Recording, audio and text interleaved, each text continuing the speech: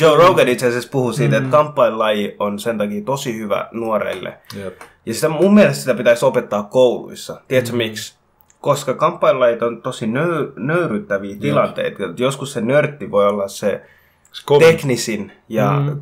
niin kuin kaveri siinä tota, sparrauksessa tai painissa tai mikä tahansa mm. se on. Ja se, että sulla on hyvät sosiaaliset taidot, ne ei hirveästi auta siinä, tiedätkö, kun sä sparraat toisen kanssa. Totta kai.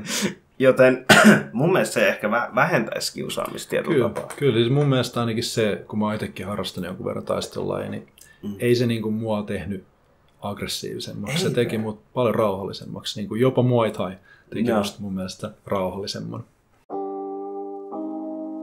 Päivän vieras Mario Luna, a.k.a. DJ Chill Luna, Luna Chill, tulee kertoa tänään oman tarinansa siitä, millaisia haasteita oli koulussa ja miten musiikki on auttanut häntä pääsee yli näistä haasteista. Mario on nykyään startup-yrittäjä ja kertoo tärkeimmät asiat, mitä elämässä pitää ottaa huomioon ja miten päästä yli erilaisista haasteista. Jää ihmeessä kuuntelee ja sä katot Khan Visionia ja mun nimi on Muttaki Khan. Khan Vision Podcast, check it out. Luulisin, että mitä luonto antaa, että se on yleensä parempaa tai sellaista terveellisempää. Jep, jep. Ei aina. Tupakka on myös luonnosta. Mm. Mutta tupakkakin on vähän semmonen, että sehän oli kuitenkin esimerkiksi pyhä aine intiaanikulttuureissa, monissa intiaanikulttuureissa. Ja sitäkin käytettiin välillä niin kuin tällaiseen ihan parantamiseen. Että sillä saatettiin imeä vaikka paha henki pois ja tällaista. Mm. Mutta sitten toki se tupakka, mitä me ostetaan, niin se on aika Marlboro. niin, se on aika kuitenkin tämmöinen, että siellä on, en tiedä, onko siellä jotain 100 000 eri ainesosaa lisättynä. Että tavallaan jos menee siihen ihan alkuperäiseen tupakkaan, niin ei se nyt ehkä niin, niin paha ole. Että siinä on tietenkin sitten nikotiinia. Mm. Mutta tota, Se oli kuulemma, mä en ole nyt ihan varma kuin totta tämä on, mutta jotain mm. mä kuulin siitä, että intiaaneilla oli sellainen geeni, tai niiden populaatiossa mm. oli sellainen geeni, että ne altistui alkoholismiin tosi helposti. Ja sitten mm. sit eurooppalaiset, jotka muutti niin kuin jenkkeihin, siihen mm. aikaan jenkkeihin, että niillä oli sellainen geeni, että ne, ne taas ö, tota, oli koukussa tupakkaan tai siihen nikotiiniin. Okay. Niin sitten ne niinku toinen vähän treidasi toista, tiedätkö? mm, kummatkin antoi niinku heikkoudet toiselle. jep, mutta se oli ehkä jotenkin, että näissä monissa alkuperä, er- alkuperäiskulttuureissa ei ollut alkoholi ikinä tavallaan, niin sitten se, se oli jotenkin niin uutta, että se...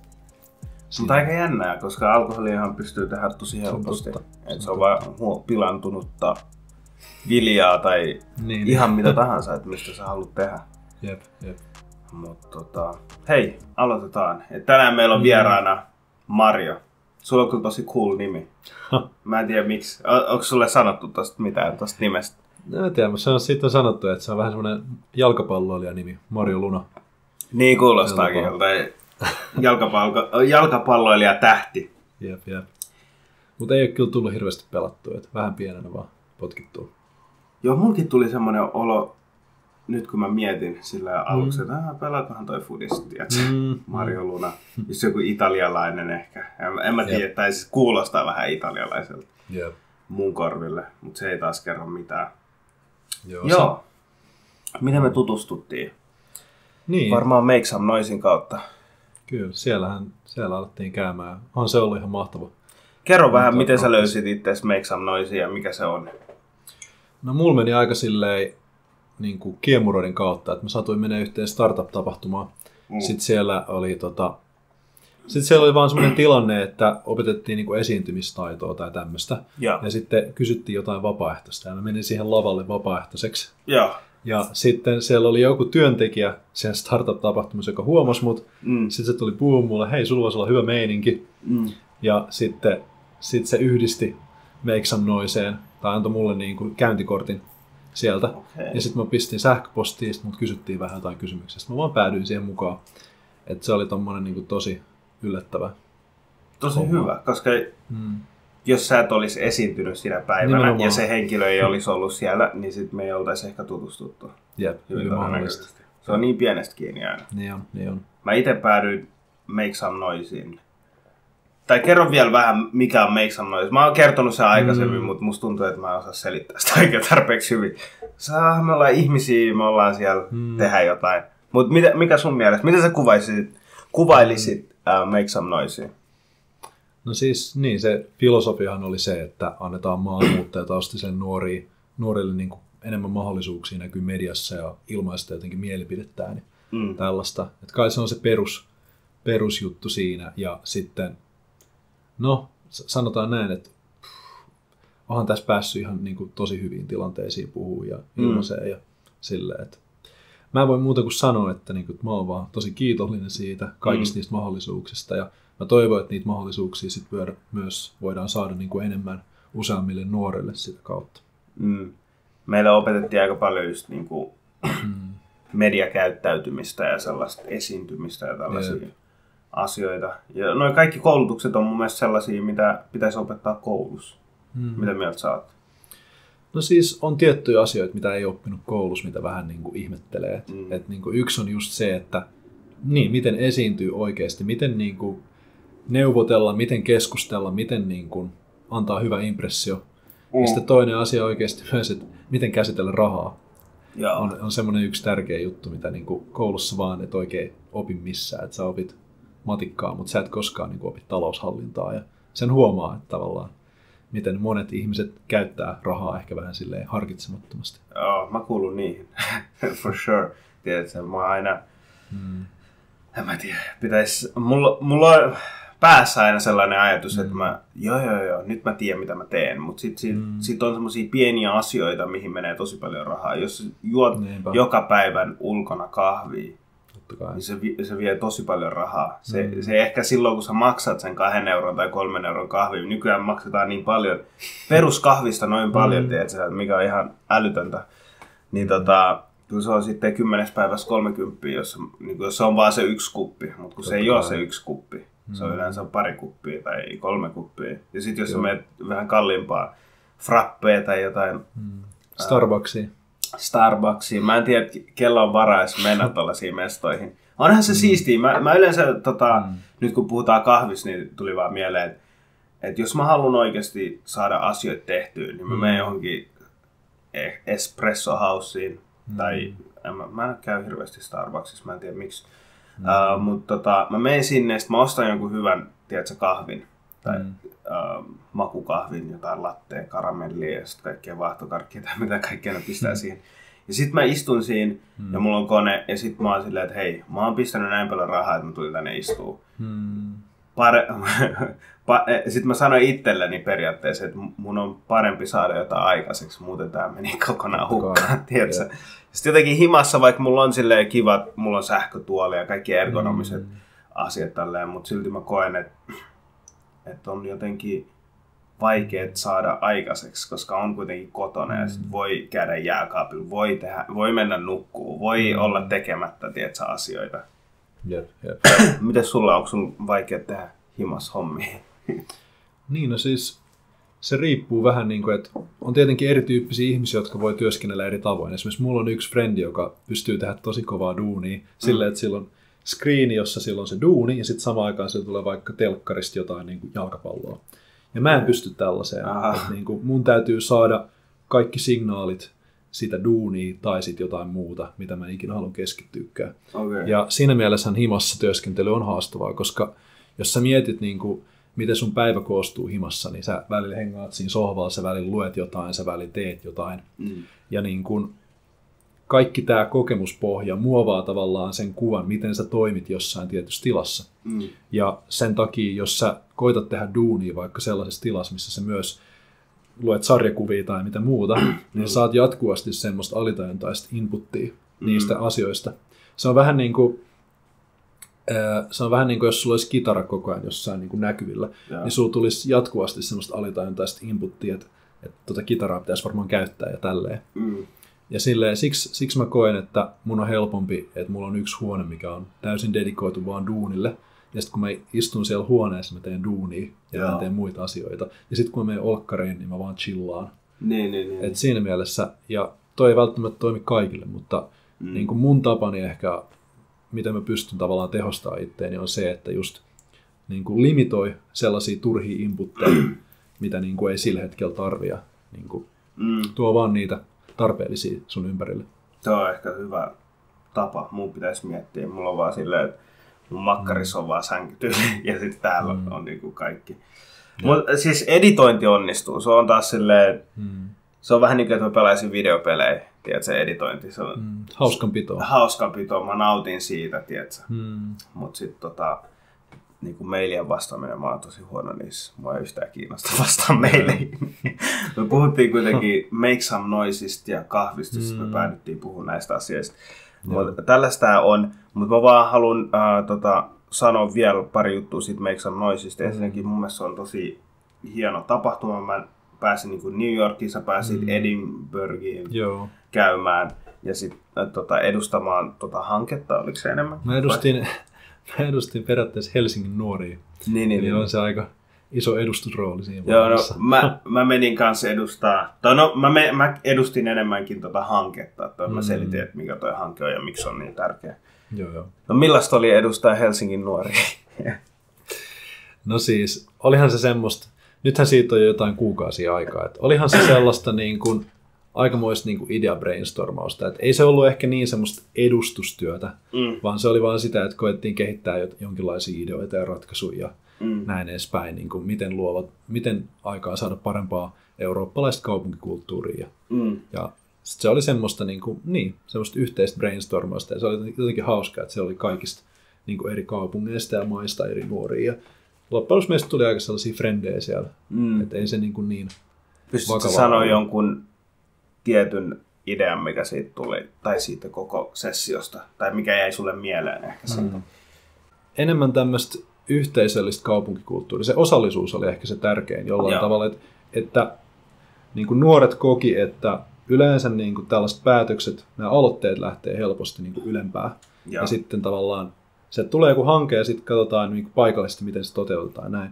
Mutta mm. niin enemmän semmoisia aloitte- aloitteita tai aloitteiden niin kuin mahdollisuuksien antamista mm. niin kuin normi-ihmisille ja varsinkin nuorille.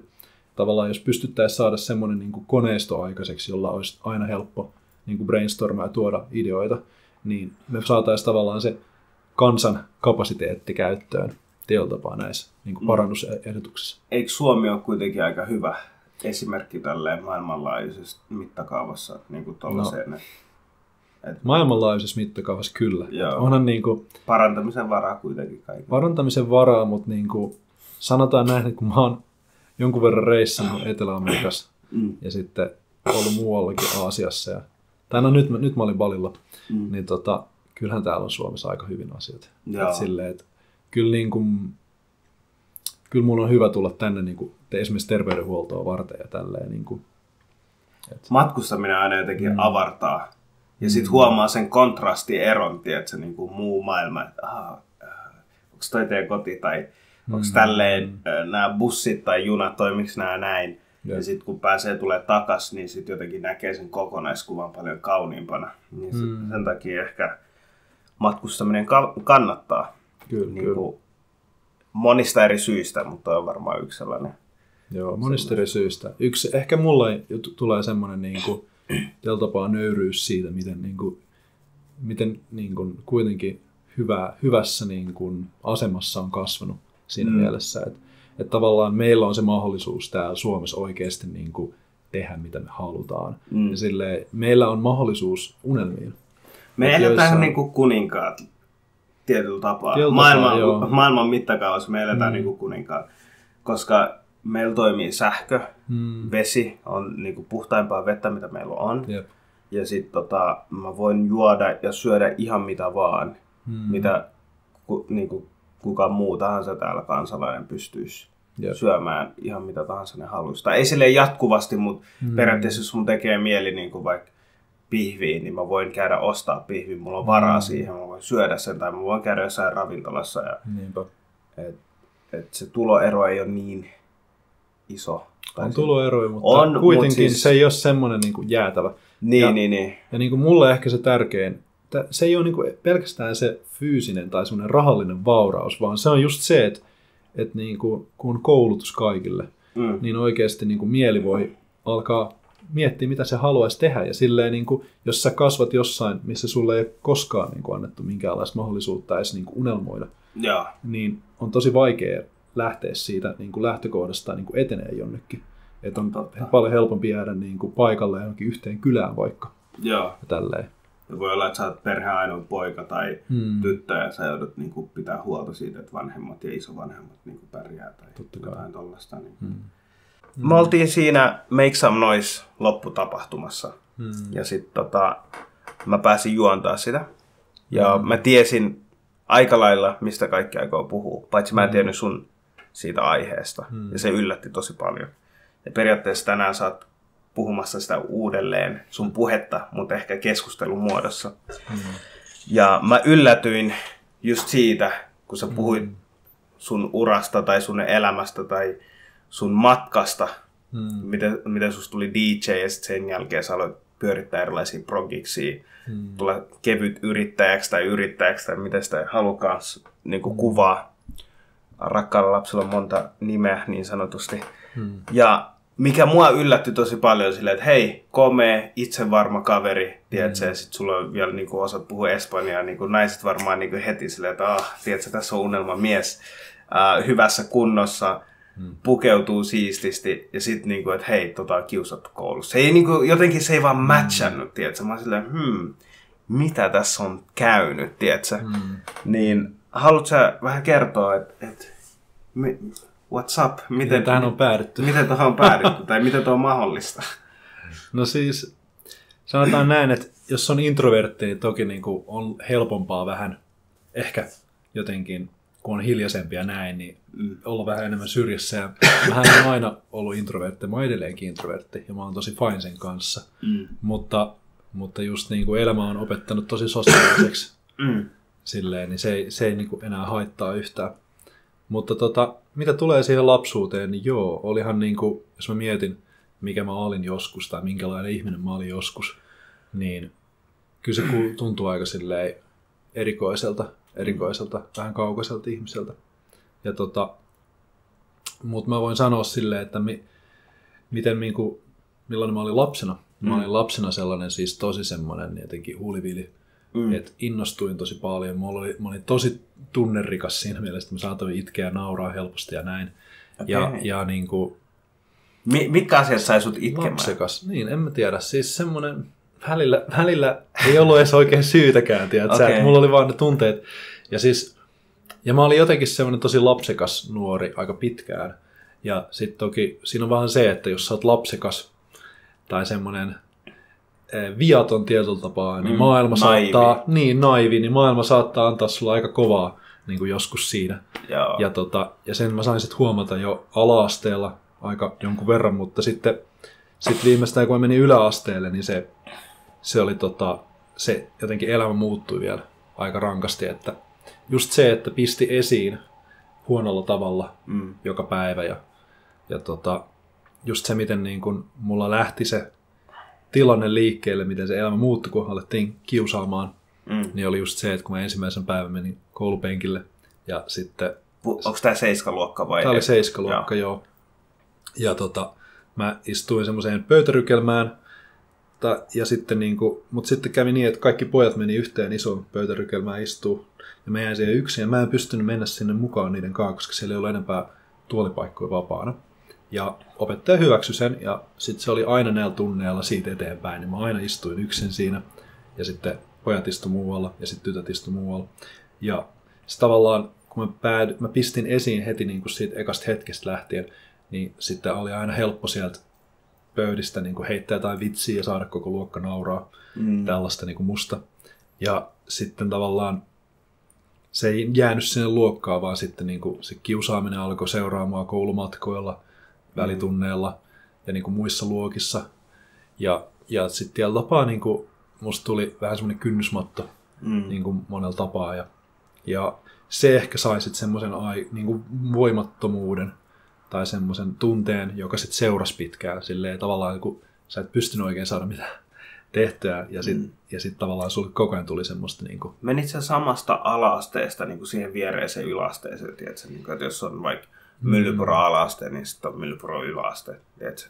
Ei, ei- näin ei ollut, koska mä olin enemmän landella. Joo. Mä olin ennen sitä pienessä koulussa ala-asteella, mutta sitten mä menin yläasteelle, se oli semmoinen tosi iso koulu. Joo. Ja siellä oli niinku, tiedätkö, luokat 7, A, B, C, D ja näin edespäin. Okei, okay, okei. Okay. Ja tota, ää, mutta niin kuin, niin mihinkään me jäätiin tossa, tossa tota, Ei sitä kiusaamista ylipäätänsä, että se mm. jatkuu ja tälleen. Mutta oliko se vaan poi, poikien puolelta vai oliko se niinku tyttöjen puolelta? Puuttuiko opettajat?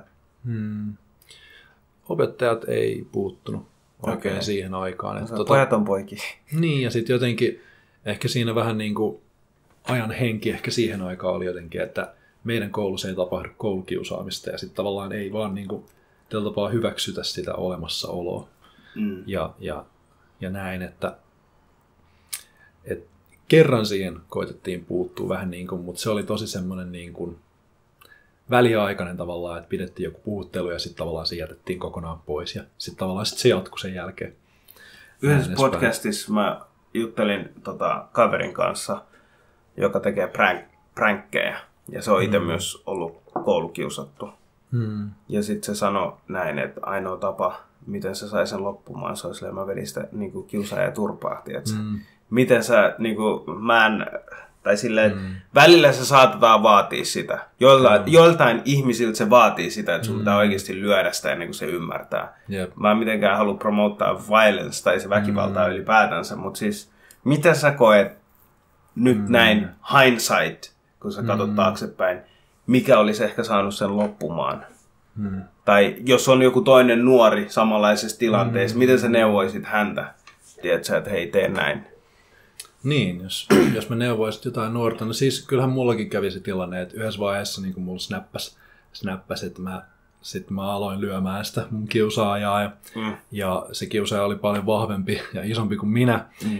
mutta mä kuitenkin sit siinä vaiheessa oli vaan niin täynnä raivoa, että me lähinnä kummatkin oltiin aika silmät, silmät mustina ja näin. Mm. Ja niin kuin, ei, sit se, sen jälkeen se niin kuin lakkoskin vähäksi aikaa. siinä oli, huomasi kyllä, että niin kuin se, siinä oli semmoinen tauko. Mm. Mutta niin kuin, mitä mä sanoisin jollekin nuorelle, joka kokee koulukiusaamista, niin no joo, siis totta kai on se yksi niin kuin vaihtoehto, että se jotenkin stand up, mutta niin kuin, mä en voi myöskään sanoa, että niin kuin jokainen pystyy tai jokaisen pitäisi tehdä näin, koska mm. siis come on, voihan se olla vaan, että siis siihen aikaan esimerkiksi kun mä, kun mä olin 7 niin mä olin tosi laiha, mä olin tosi Mm. heikko fyysisesti. Mm. Mä en vaan niin kuin pärjännyt hirveän hyvin Mm. mm. niin kuin tommosissa tilanteissa. Et, et, et kyllä niin kuin mun mielestä siinä mielessä se vastuu enemmänkin olisi niin kuin niissä kouluissa. Että On, mutta se on niin vaan niinku karu fakta, että et Mutta sitä näe tapahtuu sitä. vieläkin. Sitä Joo. tapahtuu vieläkin. Ja, Aikuiset ei vaan näe sitä samalla tasolla. mm, Se miten niinku luokkatilanne, kuinka mer... Tai siis nytten kun me mennään vaikka johonkin koulutustilaisuuteen, mm. ja me ollaan oltu samanlaisissa koulutustilaisuudessa, niin sä huomaat, että meidän porukassakin, siinä Make Some Noisissa on erilaisia mm. ihmisiä. Jotkut puhuu keskenään tosi paljon. Jep. Sitten on niinku sun kaltaisia, jotka niinku keskittyy siihen aiheeseen ja yrittää Mm. oppia. Mm. Mm. Sitten sit on niinku erilaisia ihmisiä siinä luokkatilanteessa. Periaatteessa sekin on luokkatilanne. Mm. Sitten on se yksi, joka yrittää olla niinku luokan pellet, että yrittää vaan saada huomiota, eikä keskity siihen ja yrittää ehkä päteä. Tiedätkö? Meitä on niinku erilaisia. niin on. Niin, ja me nähdään se tilanne eri tavalla siinä. Ja sitten opettajat vaan miettii, että hei, miten mä saan Mm. niin kuin käytyä nämä tietyt asiat läpi, jotta päästään seuraavaan aiheeseen. Ei, ei- ei mitenkään silleen, että opettajan työ on jotenkin Mm. helppoa, tai, tai siis, että että se ei ole niillekään helppoa välttämättä niin kuin huomata kaikki lapset, ja jos on iso luokka vielä. Kuulosti siltä, että teillä oli tosi iso luokka. No jonkun verran joo. Ja sitten sit se haaste on myös sekin, että yleensä kiusaajat saattaa olla enemmän semmoisia suosittuja poikia. Niin kuin, että joo. tavallaan se, se, joka on kiusattu, niin saattaa olla jopa semmoinen, niin kuin, hän vaikuttaa niin kuin siltä, ikään kuin syylliseltä tilanteessa, mm. koska tavallaan sillä kiusaajalla voi olla niin iso tuki. Niin, ja sitten ne voi olla oikeasti sosiaalisesti lahjakkaampia. Nimenomaan selitellä mitä ikinä Joo. selittelee ja tämmöistä. Tuo oli varmaan yksi semmoinen asia, mitä mä niinku mm. vihasin koulussa, että kun mm. se paha poika, tai silleen, se joka on syyllinen, mutta se osaa smooth talkkaa itsensä läpi siitä. Se on niin epäreilu. Sä oot silleen, se on niitä, yksi, yksi niistä vai, mm. niinku vaiheista elämässä, oot silleen, että okei, maailma ei ole vaan reilu paikka hyväksy se. Jep. että pahikset Siis- pääsee läpi puhumalla. Joo, no siis maailma ei ole reilu paikka, se on niinku ihan fakta, mutta niinku, jokaisella meillä on oma, oma polku käytävänä ja kaikkien meidän täytyy kuitenkin sit jossain määrin ylittää meidän haasteet. Et kukaan ei vaan voi jäädä. Mm. Tiedätkö, mulle jäi pitkän aikaa se tavallaan tunne, kun mä olin niin täynnä vihaa sitä. Niin kuin sit, ja sitten mulla oli se masennus, mikä jatkui siitä 6-7 vuotta eteenpäin. Että mulla on tavallaan se, se voimattomuuden tunne. Ja tota, just se, kun, kun, oli se aika, jolloin ei pystynyt oikein vaikuttaa mihinkään, niin sitten tavallaan se ahdistus vaan sitten lähti purkautumaan vihana ja tollasena. Mutta niin jos mä palaisin ihan vaan siihen, että miten niin kuin voi tehdä, niin myös mä sanoisin, niin kuin, että jos joku nyt katsoo tätä, joka, joka on kiusattu tällä hetkellä, mm. niin, niin, niin kuin,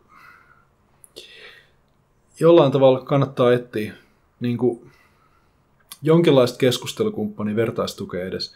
Ja mä sanoisin, niin kuin, että pitää vaan muistaa, että niin kuin, vaikka mitä muut ihmiset sanois sulle, mm. niin se mitä ne sanoo sulle, niin se ei ole kuka sä oot. Mm. Että se kuka sä oot, niin sitä ei kukaan voi viedä sulta pois. Mm. Et niin kuin, vaikka mitä ikinä kävis, ja tavallaan sit se on se, mitä mäkin niin ajattelen, että vaikka ikinä mulle kävisi mitä tahansa niin kuin haasteita tai vaikeuksia, niin kukaan ei voi viedä sitä, kuka mä oon.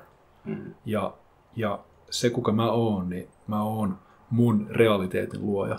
Mm. Ja mä voin, mä voin oikeasti rakentaa aina sen, kuitenkin sen elämän, mitä mä haluan, kun mä keskityn siihen, mitä mä haluan. Ja niin kuin, ehkä sellaisille ihmisille sanoisin vaan, että niin kuin vielä, että, että sun pitää koeta löytää niin kuin joku intohimoinen aihe, mikä antaa sulle voimaa, niin kuin voimaa kestää sellaisia haasteita. Mm. Jotain, niin, mitä sä rakastat tehdä. Se voi oikeasti vahvistaa, niin. että mä niin. pystyn tehdä asioita. Nimenomaan, ja sä, sä voit asioihin. tehdä, niin. Joo. Jep, jep. Mä sanoisin mennä harrastaa kamppailulajia ja vetää sitä epäturpaa.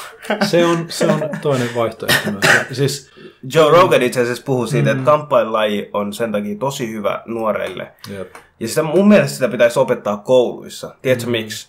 Koska kamppailulajit on tosi nöy- nöyryttäviä Jep. tilanteita. Joskus se nörtti voi olla se, se teknisin ja mm niin kuin kaveri siinä tota, sparrauksessa tai painissa tai mikä tahansa mm-hmm. se on. Ja se, että sulla on hyvät sosiaaliset taidot, ne ei hirveästi auta siinä, tiedätkö, kun sä sparraat toisen kanssa. Totta kai. Joten mun mielestä se ehkä vähentäisi kiusaamista tietyllä kyllä, tapaa. Kyllä, siis mun mielestä ainakin se, kun mä oon itsekin harrastanut jonkun verran taistelua, niin mm. ei se niin kuin mua tehnyt aggressiivisemmaksi. Ei, se teki mut paljon rauhallisemmaksi. Niin kuin jopa Muay Thai teki musta mun mielestä rauhallisemman. Joo, ja se, että sä, sä tiedät, mihin sä pystyt, mm. tiedätkö? ja sitten semmoinen varmuus. Yeah. Ja myös niin kuin, nyt, on hel- nyt kun me ollaan kuitenkin käyty tietyn verran elämää läpi ja tiedätkö, mm. voidaan katsoa taaksepäin. Me, saa, me kuulostetaan vanhalta fabuilta, mutta tota, mun mielestä kaikista pelottavin asia on, kun joku mm. yrittää saada reaktion sulta. Mm. Ja sit sä oot vaan tosi itsevarma ja mm. hiljaa se kylmyys. Tiedätkö, sun vanhemmat on vihaisia sulle, hmm. ne ei sano sulle mitään, ne on vaan kylmiä. No, sit sä sillä, se oh, shoot, tiedätkö, että nyt, nyt on jotain tapahtunut. Hmm. Ja mieti silleen, että mä kiusaan jotain henkilöä. Tämä vaatii tietysti henkistä semmoista hmm. vahvuutta tosi paljon, mitä ehkä kiusatulla ei välttämättä ole siinä tietyssä tilanteessa. Mutta jos siinä heti alussa jo pystyy silleen niin kuin, katsoa vaan ja sitten silleen, mun, mun veli sanoi tosi hyvin, hmm. että et, et, yhdessä duunipaikassa, että se yksi, yksi henkilö niin kuin, suuttui ja raivostui mulle tosi paljon. Niin kuin, ilman mm. mitään syytä niin alkoi huutelee. Mm. Sitten tota, sit mä olin vaan silleen, toistin vaan kysymyksen uudelleen. Sitten se alkoi tälleen jotain tehdä. Sitten mä olin vaan hiljaa lähi kävelemään. Tiedätkö? Mä silleen, mm. niin kuin, että en mä jaksa, niin kuin, ja se oli vielä naishenkilö. Mm. En mä jaksa niin kuin, huutaa jollekin naiselle, tiedätkö? Tai tälleen, mm. Sitten, sitten myöhemmin se tuli se silleen, hei, mä vaan heitin vitsillä. Mä olin silleen, joo, ei sun tarvi heittää tällaisia vitsejä, tiedätkö? Mä en ole sun frendi. Mulla on täällä töissä, tiedätkö? Mutta sitten mun broidi sanoi silleen, että jos sä olisit vaan ollut hiljaa, kattonut ja sanonut, että hei, miksi sä käyttäydyt noin lapsellisesti, niin se olisi ollut tarpeeksi. Koska silloin, hmm. koska mä haluan oikeuttaa mun huonon käytöksen. Hmm. Mä haluan sanoa jotain, jotta sä suutut ja sanot mulle jotain, jotta mä pystyn vielä huutaa sulle tai olla aggressiivisempi. Hmm. Eikö se ole vähän niin kuin, me yritetään löytää syitä tehdä asioita. Me hmm. etsitään syitä ja merkityksiä asioista. Joo, ja, siis, ja silloin kun kaksi ihmistä raivoo toisilleen tai tappelee toistensa kanssa, niin sehän on oikeastaan aika yhteistyömeininki. Tietyllä tapaa tälleen niin kuin twisted meiningillä, että tietyllä tapaa kummatkin pyörittää sitä samaa energiaa keskenään siinä vaiheessa. Mm. Tai silleen niin kuin ääripäät, jotka vihaa toisiin, niillä on samanlainen käsitys toisistaan. Jep, jep. tiedätkö, Jep. like joku ääri-islamisti ja sitten niinku ääri-rasisti, tiedätkö, tai Mm. semmoinen, joka vihaa islamia, islamofobikko, niin ne ajattelee samalla tavalla. Niillä on samanlainen islamin käsitys, tiedätkö, Mm. kummatkin uskoo semmoiseen violent extreme versioon. Jep. Se, se rasisti uskoo siihen, ja sitten se muslimi käyttäytyy sen mukaan, tiedätkö, joka on niinku Mm. ääriversio siitä. Miten sä löysit, sä kuitenkin puhuit tässä sun neuvossa, että et pitää löytää kuitenkin se intohimo on ehkä Mm. yksi paras tapa löytää sun oma identiteetti ja siihen, mihin pystyy oman potentiaalin löytämiseen. Mm. Miten sä löysit sun identiteetin tai osa sun identiteettiä tai sun potentiaalia, että sä pystyt tehdä asioita? Mm. Ja millaista se asia oli? No siis, ensinnäkin kun mä kerron, niin tämähän on tietenkin mun polkuni. Että jokaisella on oma polkunsa ja jokainen löytää eri tavoin siihen. Ja mulla oli ehkä se, niin kuin, että sen jälkeen kun mä olin masentunut aina, niin mulla oli pitkään se jotenkin, että mä harrastin asioita oikeastaan sen takia, että mä halusin saada ystäviä. Mm. Koska niin kuin, mulla oli jotenkin, mä, mulla oli niin paljon sitä pahaa oloa sisällä, että musta tuntui, että se karkotti ihmisiä, koska se vaan se tavallaan oli sitä mun identiteettiä ja mm. semmoinen uhriutuminen myös jossain määrin. Mutta niin kuin, sit kun mä löysin DJ-hommat ensimmäisen kerran, menin nuoristalolla vaan kokeilemaan levyjä. Mä jotenkin vaan päädyin kävelemään sinne sisälle ja sitten kokeilin. Niin tota, se oli ensimmäinen semmoinen harrastus, mitä mä aloin tehdä ja silleen tajusin, että hei, tää on vaan niin kuin kivaa. Mm. Tää on tosi siistiä. Mä en ollut ikinä oikein tehnyt semmoista niin kuin harrastusta, mikä, mikä oikeasti tuntui tosi siistiltä. Onko se flow-tila, mistä sä sanot, että siistiä, että sä pääset vähän niin kuin irti tästä kaikesta muusta? No siis se oli jotenkin semmoista, että sä teet jotain, mikä kehittää sua, ja sit aika vaan kuluu.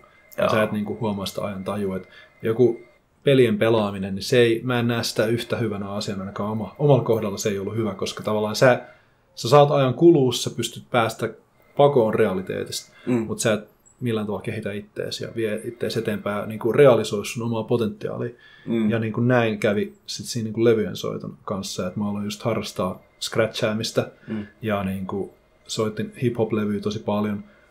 Opettelin sen biittimiksaamisen ja tota, sitten niin kuin aloin vaan pushaa sitä silleen, että mä soitin eka jossain niin opiskelijabileissä tai mainstream-juttuja ja sitten niin kuin pääsin, pääsin lopulta johonkin niin kuin baariin soittaa ja Mm. sitten bileisiin. Ja sitten mä aloin järjestää omia bileitä. Ja sitten mä aloin niin kuin, pitää omia klubejakin. Ja sitten mä aloin päästä soittaa niin kuin, UG-bileisiin ja sitten mm. mä aloin järjestää UG-bileitä, tavallaan se lähti semmoisena niin kasvuna touhuna Lu- eteenpäin. lumipallo-efekti, että sä Jep. lähti toista. Oletko aikaisemmin harrastanut musiikkia vai oliko toi eka kerta, että sä harrastat musiikkia? No, mä olin käynyt nuorempana jonkun verran kitaratunneilla ja saksofonitunneilla. Mutta ne oli enemmän sit sellaista, että kun mä asuin silloin enemmän landilla, niin ei ollut oikeastaan edes muita harrastusmahdollisuuksia. Oli just se kitaratunti ja sitten piti mennä vähän kauemmas kylälle, että pääsi sinne saksofonisoittaja. Oli ne ihan kivo juttu ja niin Mm. päästä jonkun verran soittaa, mutta sit se ei vaan ollut semmoinen, mikä olisi ollut itselle niin intohimosta. Milloin sä muutit Helsinkiin? Sä puhut Landesta. On vaikea kuvitella, kun sä näytät kuitenkin tosi helsinkiläiseltä. Tai Niin, semmoisella, susta ei tuu mieleen semmoinen maajussi, Mm. niin sanotusti. Milloin sä muutit Helsinkiin? Kuinka vanha sä olit silloin? No, mulla oli se tilanne siis tosiaan, että mä olin asunut silloin Fiskarissa Mm. ja mun äiti päätti muuttaa niin kuin ihan landelle siis tosi ka- kauas Okei. Heinävedelle. Joo. Ja, ja niin kuin, sinne meni myös mun pikkuveli ja pikkusisko sen mukana. Mm. Ja mä en jotenkin vaan kestänyt sitä, että, että mä haluan vaan niin kuin alkaa tehdä asioita. Ja silloin 16-vuotiaana mä muutin yksin sitten stadiin. Mm. Ja Sä aika sit- nuori ikä. Joo, joo. Siis se oli semmoista mielenkiintoista aikaa, että ensin, ensin mä asuin vähän aikaa mun Fajan kerrostaloasunnossa, koska mun Faija asuu Brasiliassa suurimman osa ajasta, niin Mm. sitten se oli aika lailla mun käytössä, sitten mut häädettiin sieltä. Sitten sitten menin mun mummolaan, mummolaan tonne yhteen vierashuoneeseen, asuu vähän aikaa, oli ehkä kuukausi parista, mutta häädettiin sieltä, nekään ei kestänyt mua. Ja tota, Mikä, oliko se musiikki mikä? Tai... Se oli vaan, että mä olin niin 16-vuotiaana, mä olin vielä niin ongelmainen, Ah, okei. niin kuin kaikin puolin. Ja tota, sitten mä asuin, no joo, mutta sitten mä aloin niin kuin asua opiskelija-asunnoissa ja sitten vuokra-asunnoissa ja tälleen. Mm, mm, Okei. Okay. Tota, joo, eli sä pääsit kehittää ittees tuossa. Mm. musiikkihommassa. Jep. Ja miten se kehitysvaihe menee? Et oliko sulla jotain mentoreita tai yhteisöä tai mistä mm. sä niin kuin, opit lisää ja uutta? Koska mm. nykyään on kuitenkin helppoa YouTuben kautta. Jos mä en tiedä, miten tehdään joku tietty asia, mm. niin mä mm. vaan YouTubetan sen tai googletan sen asian. Jep, jep. Miten siihen aikaan? Et kuitenkin internet oli olemassa, mutta kai, se jep. ei ollut samassa... Niin kuin, niin. Se ei ollut samalla tavalla läsnä kuin nykyään. No mä sanoisin, että, että niin kuin jokaisen olisi hyvä löytää joku ihminen, joka uskoo siihen. Niin kuin, et, et, niin kuin, ei se on täällä, terveellistä. Niin, ei, ei me täällä, niin kuin, totta kai jokainen meistä luo oman elämänsä, ja. mutta niin kuin, kyllä jokainen meistä tarvitsisi vähän sen tukea. Edes, niin kuin, edes sitä, että joku voi sanoa, että hei, kyllä sä pystyt siihen. Mm. Silleen, kyllä niin kuin se on tosi, tosi hyvä juttu. Ja mä olin siinä mielessä tosi onnekas, että mulla oli se mun DJ-opettaja oli semmoinen tosi rento ja tosi tukeva tyyppi. Ja niin kuin, sillä ei ollut koskaan mihinkään kiire, vaan se aina niin kuin neuvoi mua, mm. kun mä tarvin ja apua. Ja, ja silleen sillä pystyi kertoa asioita. Niin se kyllä niin kuin auttoi mua tosi paljon, mm. se, se mun DJ-opettaja. Tapas, tapasit sä muita DJ-tä tai silleen, että mm. onko siinä, onko jotain DJ-yhteisöjä tai miten se Kyllähän niitä on. Kyllähän niitä on siis, joo, pikkuhiljaahan, kun mitä enemmän soitti ja mitä enemmän järkkäsi, ne alkoi tutustua. Joo. Ja just koska me järjestettiin yhdessä vaiheessa kahden vuoden ajan joka tiistai, niin kuin yhden Grevin kanssa me järjestettiin, niin semmoista tiistai-iltaa, niin me buukattiin niin kuin tyyliin suuri osa Konemusa DIstä niin kuin, tyyliin, mitä, mitä Helsingissä on. Mm. Ja tota, sitten siihen tutustui, tutustui totta kai niin kuin ihan sikana. Ja, ja se meni jossain vaiheessa aika pitkällekin silleen, että mun identiteetti alkoi muodostua tosi paljon siihen niin kuin DJ, DJ-lyyn ja siihen Bile Järkkäri-juttuun. Ja... Oliko se sun nimi? Mä unohdin kysyä. DJ Loon. Äh, Luna Chill. Luna Chill. Oli Aha, se DJ-nimi. Okay. Joo. se on sama kuin sun Instagrami. Kyllä, kyllä. Ja, Luna ja, Chill. Ja. Joo, ja, tota, ja siis mulla olikin sitten jossain vaiheessa sellainen tilanne, että käytännössä melkein kaikki mun frendit oli musatuottajia, DJ tai Bile Järkkäri. Mä olin tavallaan semmos, melkeinpä semmoisessa kuplassa – Sä puhuit siitä, että sulla ei ollut kavereita, nyt sulla on niinku coolimmat kavereet, mitä niinku joku nuori voi saada. Tai silleen, että kuinka moni mm. nuori tuntee musiikin tuottajia tai mm. ylipäätänsä on niinku DJin kavereita tai sellaisessa piirissä. Pääsit mm. sellaiseen piiriin, mitä niinku monet landella haave- haaveilisi. No siis sekin on, sehän on myös vähän semmoinen niin mielikuva loppujen lopuksi tavallaan, mm. että DJ on aika lailla sitä, että niinku siis mitä nyt sanoisi, niin kuin valvotaan helvetin myöhään ja ollaan väsyneet seuran aamuna ja mm. kuitenkin onhan sekin duuni. Ja, mm. Tai sille, en, en, se, mulla se oli intohimo, mutta mut, mut on se niin kuin välillä vähän väsyttävääkin. Ja, ja niin kuin, ihan tavallisia tyyppejä ne DJitkin on loppujen lopuksi. Ihan niin kuin, vaan tyyppejä, jotka vaan sattuu dikkaa musasta ja mm. harrastelee sitä niin kuin tuossa konemusapuolella. Sillä, Miten se jatkuu? Sä pääsit mm. ekaksi opiskelubileistä niin kuin klubeihin – Hmm. Sitten, mitä se skene jatkuu siitä? No, Tuleeko joku hmm. puhua sulle tai saat sä tekstareita ja puheluita, että hei, täällä on tällainen juttu. Hmm. Sä kehityit siinäkin hommassa. No siis ihan ensimmäisiä keikkoja, semmoisia klubikeikkoja mä olen saanut, kun mä olen mennyt tommosiin niin DI-kilpailuihin. Okay. Ja sitten mä saatoin niin kuin päästä sijoille siinä niin sanotusti silleen, että sitten okei, okay, mulla annettiin mahdollisuus. Ja sitten niin kuin mä menin kerran soittaa yhdelle klubille ja mä soitin siihen aikaan aika semmoista rankkaa dubstepia, mm. ja mä onnistuin käytännössä saada niin kuin kakkospuolelle melkein kaikki, että se ykköspuoli oli silloin tyhjänä. Mm. Ja tota, sitten jotenkin silloin se promoottori oli niin fiiliksi, että mä pääsin alkaa soittaa siellä useammin.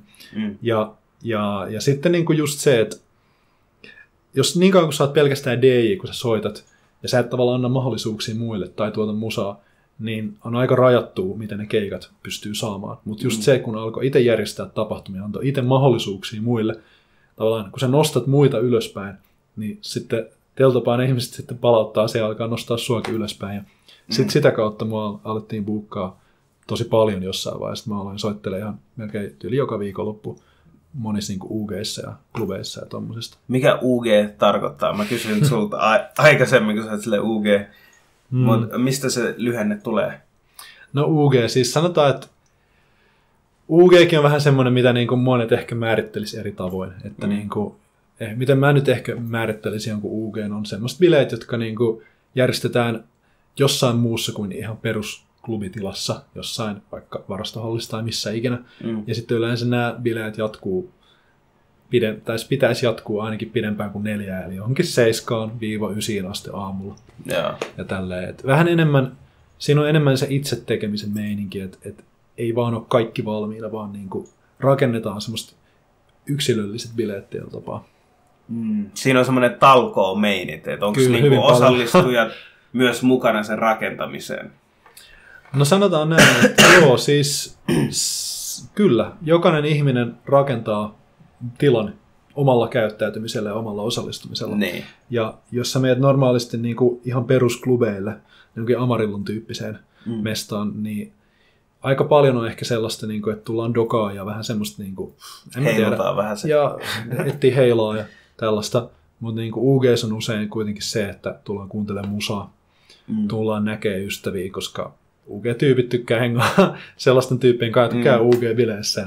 Et se mentaliteetti on erilainen ja, ja niin kuin parhaimmillaan se voi olla tosi semmoista yhteisöllistä Mm. mm. meininkiä, jossa niin kuin kaikki katsoo vähän toistensa perään ja silleen, että on semmoinen oikeasti niin kuin positiivinen viva. Semmoinen Eikä tietynlainen uskonnollinen semmoinen, tiedätkö, Mm. yhteisöllisyys, mitä saa niinku uskonnollisissa rituaaleissa, niin tuo on tietynlainen rituaali, mihin Mm. menee tietyn tyyppiset henkilöt, ja se yhteinen Mm. tekijä on se musiikki.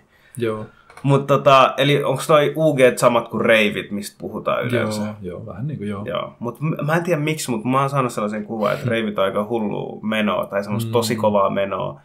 Ja tota, yleensä siinä on niinku huumeet mukana. Tai tuo on semmoinen stereotypia Mm. ehkä, mikä niinku siitä Mm. annetaan, että joo, vedetään huumeet ja tanssitaan maailman loppuun asti. Miten, onko toi vaan enemmänkin stereotypia vai miten sä kuvailisit, Mm. että kommentoisit tätä asiaa?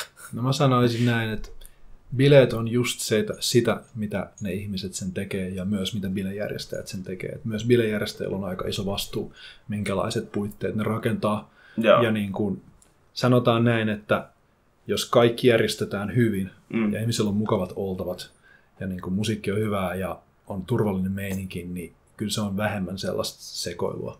Ja niin kuin mä sanoisin, että jos, jos haluaa mennä tällaiseen niin päihdeilmapiireihin, niin sitten kannattaa enemmän mennä klubeille, koska se, se on niin kuin enemmän, se- mun mielestä siellä on enemmän sitä meininkiä melkeinpä. Joo. Että tavallaan mä, onhan totta, totta kai olemassa semmoisia reivejä, jotka voi olla vähän hatarammin järjestettyjä, Mm. mutta ainakin silloin, kun itse järkkäsi reivejä, niin kyllä niin kuin halusi vaan mahdollistaa semmoisen mahdollisimman mukavan ja turvallisen ilmapiirin. Mm. Ja just siellä sitten näkikin vähemmän sellaista meininkiä. Mm. Mä vaan katsoin sellaisen Vicein dokkarin jostain mm. niinku, uh, Briteissä, noista reiveistä ja tollasissa. Niin, Briteissä on vähän eri no, meininki. veikkaan, että Briteissä muutenkin on vähän tota, mm. Vilkkaampaa porukkaa. Jep. Haluaa Euroopan unionista pois ja sitten mm. halusi takas. uh, mutta tota, nyt, kun sä järjestät noita tapahtumia, mm. Niin sä et tee kuitenkaan silleen, miten tuolla Briteissä tehdään, että mennään vaan johonkin mestaan, rikotaan lukot ja sitten bileet sinne. miten se toimii Suomessa? Ei, no siis sanotaan näin, että Sä sä voit, sä, voit tehdä, sä voit tehdä eri tavoin. Okay. Jotkut voisit, sit vuokraaminen on semmoinen aika perusjuttu. Ja sitten kyllä jotkut voi sitten tehdä reivejä jonnekin yllättäviin mestoihin. Ja kyllä niin kuin on ollut siistejä kokemuksia, kun on menty vaikka johonkin vanhaan tunneliin tai johonkin metrotunneliin, niin kuin, Mm. ei, metrotunneliin, vaan junatunneliin tyyliin ja Joo. tehty vaan sinne bileet ja tuommoista, että sit se on vähän enemmän niin kuin nopeasti tehty. Niin, niin, niin. Onko se niinku periaatteessa tuossa skenessä, Mm. Onko siinä se osa sitä, että poliisit tulee jossain vaiheessa lähdetään haneen, tai siis mikä Ei. ehkä joissain, ettikö jotkut sellaista thrill seeking, tiedätkö? En mä tiedä, siis ei mun mielestä Suomessa niin paljon. Ei Suomessa, mutta niin. mä puhun vaikka esimerkiksi ulkomailla, tiedätkö? Niin. Onko se niinku osa sitä hommaa? No siis mä en, mä en, oo, vi, niin kuin mä en voi hirveästi kommentoida sitä Joo. ulkomaan meininkiä. Joo. Tavallaan, että mun, mun kokemus on siitä Suomen meiningistä. Niin, niin, niin. Silleen, että kyllä mä oon jossain Espanjassa käynyt reiveissä ja oli siellä kyllä aika niin kuin hullu meininki. Mm, Ja mm. just semmoinen meininki, niin kuin, että Suomessa ei tapahtuisi, koska kyllä Suomessa on aika niin kuin hyvät laatustandardit. Joo. Joo. Et, et, kyllä mä olin kerran Espanjassa, just mä olin siellä, siellä oli niinku tosi semmoinen jotenkin sekava meininki kaiken järjestelyn suhteen, ja sitten vettä oli lattialla ja jotenkin musat oli vaan, no en mä tiedä, se oli vaan jotenkin tosi, tosi Sekava monelta joo. eri näkökulmalta. Joo. Sä lähit opiskelemaan Hmm. kulttuurin tuotantoa, oliko se näin?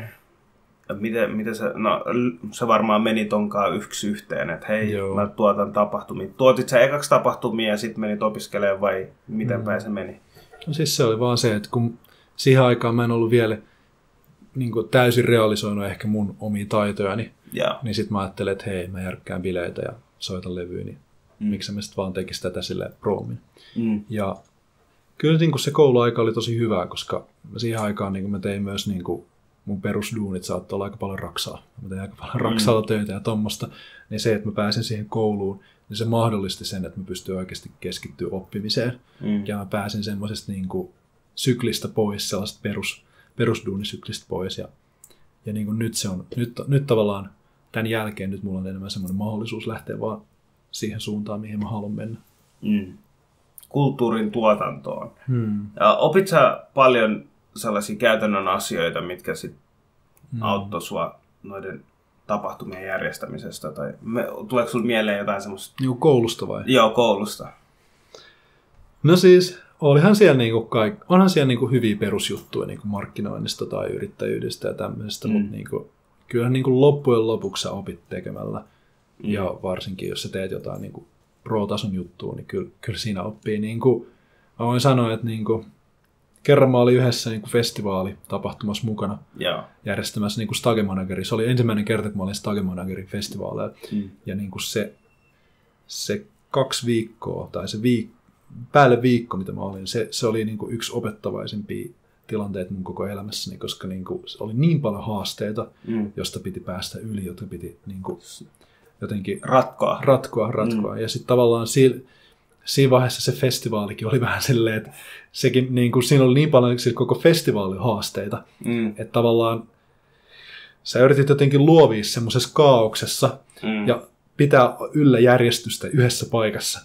Ja, ja, Ja se on vaikea, kun sä näet sen haasteiden kautta. Ne, jotka on Mm. ehkä siinä festivaalissa, ei näe niitä haasteita. Ne näkee vaan sen hyvän äh, DJn tai hyvän Mm. artistin ja pitää hauskaa siinä. Ne saa ruokaa, ne Jep. pääsee vessaan.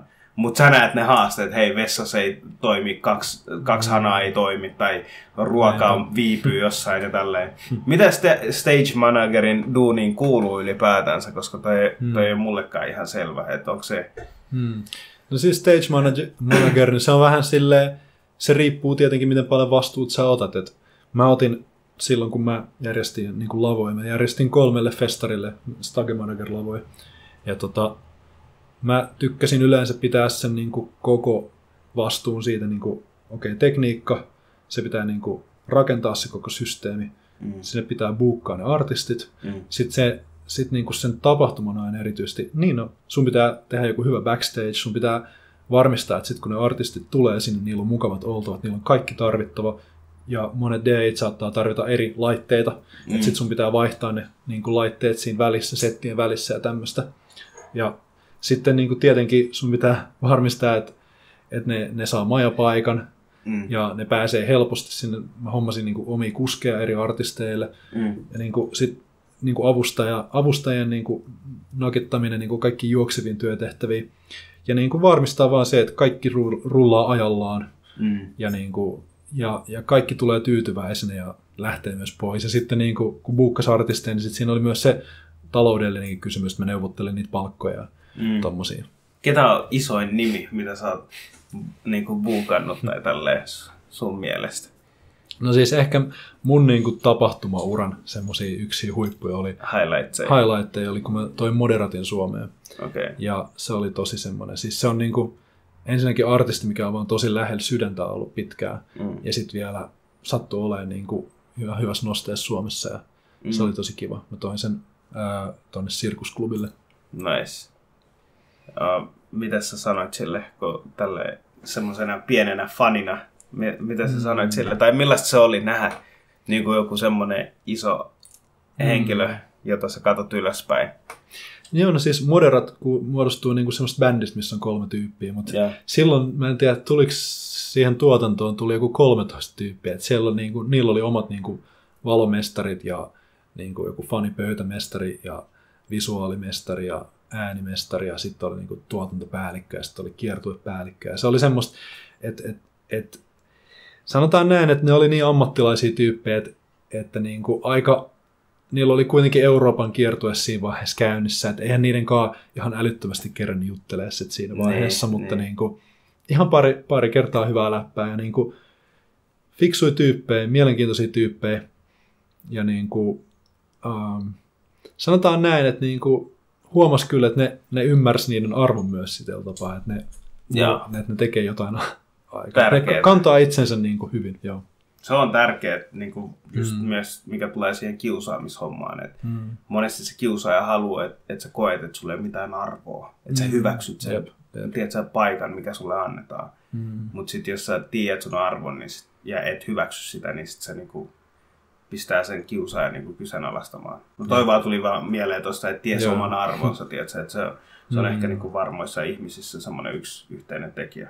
No, Mm. kuitenkin klubielämä loppui jossain vaiheessa. Tai tommonen klubielämä. Tuo kuulostaa, että sä olit itse klubissa, mutta enemmänkin tommonen järjestely ja tällainen Joo. homma. Uh, mitä sen jälkeen tapahtui? Mm. Kuka sä olit henkilönä? Mm. Tai niin, mitä, mitä sen jälkeen? Joo, no siis mä muutin just sinne kymmenes kuukaudeksi Portugaliin. Ja Okei. mä jätin taakseni oikeastaan sen DI-elämän ja sen tapahtumajärjestäjä. Se oli tosi tervettä. Mä aloin tutustua niin kuin just sen Erasmus-opinnon kautta niin, niin monen eri kansalaisuuteen niin kuin nuoriin, Joo. jotka oli siellä. Ja ketkään ei ollut musiikin kanssa tekemisissä. Okay. niin jotenkin se oli ehkä sitten semmoinen, että tietyllä tapaa syntyi uudelleen, koska sä jouduit rakentaa sun identiteetin nollasta eteen, nollasta niin uudelleen muille ihmisille. Ja Oliko se pelottavaa? ei loppujen lopuksi. Se on aika hauska silleen. Monet ihmiset sanoo, että, että en mä viitti lähteä ulkomaille, koska niin kuin, tai asuu ulkomailla, koska mulla on kaikki mun frendit täällä jotenkin, tiedätkö, se olisi jotenkin vaikeaa ja näin, mutta se olikin loppujen lopuksi aika helppoa. Tai silleen, Mm. että sä vaan menit sinne ja löydät sen mestä ja sit, sitten tavallaan sen huomasi vaan, että kun ei ole ketään ystävää mukana, niin sä oot niin avoimempi kaikkeen, niin kuin tapaa ihmisiä. Ne muutkin ihmiset oli avoimia, niin kuin ne muutkin Mm. vaihto-opiskelijat. Sitten sä vaan sait niin kuin uuden perheen tosi nopeasti siinä. Mm. Ja, ja sitten tavallaan se oli, se oli jotenkin, mä huomasin, että senkin jälkeen, kun mä sitten sen kymmenen kuukauden jälkeen tulin takaisin Suomeen, niin mä en enää kantanut sitä DJ kautta musajärjestää identiteettiä. Mä pääsin vapaaksi siitä. Ja se on, niin kuin, se on taas tavallaan silleen, että se identiteetti, se oli niin kuin mulle hyvä sen aikaa, kun mä tein sitä juttua, mutta sillekin oli oma aikansa. Ja tavallaan mulla on tosi semmoinen hyvä fiilis siitä nykyään, että vaikka mä oon ryhtynyt yrittäjäksi, niin Mm. mä en näe mun identiteettiä yrittäjänä. Mä näen itseni identiteettinä. Ja tavallaan mä en liikaa leimaudu ehkä sitten tommosiin niin malleihin. Ja Mm. siihen johonkin aikaan mä olin, tavallaan kun se DJ kautta musa meininki oli niin pelastanut mut tällä tapaa, se toi mulle mun ystävät, se toi mulle sen uuden maailman, Mm. niin siksi mä niin tukeuduin siihen tosi paljon, siihen identiteettiin. Mm.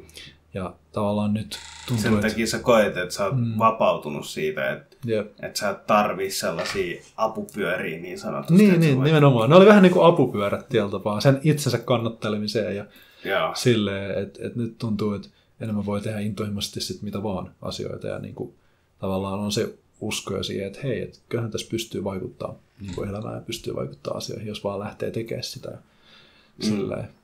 Mist, mistä asioista saat sellaisen fiiliksen, että hei, onko sulla jotain rituaaleja, mm. niin asioita, mitä sä teet, josta sä huomaat, että hei, mä oon hallinnassa mun omasta tekemisistään, mm. tai ta- saa sellaisia voimannuttavia mm. ä, niin kuin fiiliksejä. Vähän niin kuin, että kun sä teit musiikkia, niin sä sait voimannuttavan fiiliksen, että sä osaat mm. jotain. Sä- You make a difference, niin sanotusti. Mm. Mulla on esimerkiksi semmoinen Instagram-koutti yhdessä kuvassa. Mä en hirveästi postaa mun omia kuvia, mutta sit välillä mä postailen. Niin tota, mulla oli mun mielestä siistit vaatteet ja sitten mä kirjoitin siihen, että outfit, one of the few things you get to choose in life, tiedätkö? Joo, joo. Ja ne on niitä pieniä valintoja, mitä sä pystyt ja sä päätät silloin, että valitset sä, miltä sä haluat näyttää, tiedätkö? Mm. Ja sit on niinku tosi pieniä asioita meidän elämässä. Ruoka, mitä sä syöt. Mm. Okei. Okay. Me ei pystytä valita sitä, että millä, mihin etnisyyteen tai perheeseen me sy- synnytään. Mm. Uh, mutta on kuitenkin näitä asioita. Ja ne antaa mulle joku sellaisen niinku in control fiiliksen. Mit, Joo. mitkä asiat antaa sulle sellaisen fiiliksen, että okei, mä oon nyt niin kuin hal... Ei sellaisesti, Niin, niin, kuin, että mä oon hallinnassa tässä asiassa, vaan silleen, että hei, mun ei tarvi, Hmm. tiedätkö, tai että mä oon, mä oon hyvä näin, just näin. Mm. Mm, mm. No siis mä näen sen, että se miten sä rakennat itseäsi ihmisenä ja se miten sä pidät hallintaa itse yllä mm. fyysisesti kuin henkisesti, niin se on semmoinen jatkuva prosessi, että koskaanhan sä et ole valmis. Ja niin kuin mä näen itteni, mä näen niin kuin monesti monet asiat, mitä mä teen, niin en välttämättä enää niin kuin yksittäisenä tekona, vaan semmoisen luonnollisen jatkumona. Että et, tietyllä tapaa kaikki, kaikki se, mitä mä teen tänään, on mm. äänestys sille, mikä mä oon huomenna. Ja sitten taas se, mitä mä teen huomenna, kaikki ne asiat on taas jatkumo sille, mikä mä oon tulevaisuudessa. Ja tavallaan mä ainakin niin kuin dikkaan, että pohtii monesti, kun mä teen jotain, niin tavallaan mi, minkä, minkälaista ihmistä mä oon rakentamassa tällä hetkellä. Mm. Ja se ehkä sit se just, mikä pitää mua, niin kuin, antaa mulle sitä tunnetta, niin kuin, että, että asiat menee hyvin tai että mä oon jotenkin kontrollissaan. Yksi asia on oppiminen, se, että lukee joka päivä tai vähintään kuuntelee audiokirjoja joka päivä. Tavallaan se, että mä saan jonkinlaista inspiraatiota, hei, mä opin jotain uutta tänään, Mm. niin se antaa mulle jo semmoisen fiiliksen, että, että mä en ole ihan sama henkilö, mitä mä olin eilen, tiedätkö? Mm. Ja sitten just se, että treenaaminen, siis mä en, mun on vaikea jotenkin kuvitella, että miten niin, minkälaista on onnellinen elämä ilman treenaamista tai ilman niin kuin fyysistä hyvinvointia, niin kuin hyvää kuntoa. Mm. Et, et sitten siinä mielessä niin kuin mun elämäni muuttuu aika paljon myös sen Portugalin reissun kautta, kun mä aloin harrastaa siellä muaitaita. Oikeesti, nice. Joo, ja sitten sit semmoinen urheiluhenki jäi mulle. Mm. Ja tavallaan sitten nykyäänkin mä treenaan sen viisi kertaa viikossa. Ja niin kuin jotkut ihmiset sanoo, että heillä ei ole aikaa treenaa, mutta mä ajattelen enemmänkin niin, että mulla ei ole aikaa olla treenaamatta, koska niin kuin se antaa mulle niin paljon, se antaa mulle energiaa, se antaa mulle loppujen lopuksi tunteja päivään.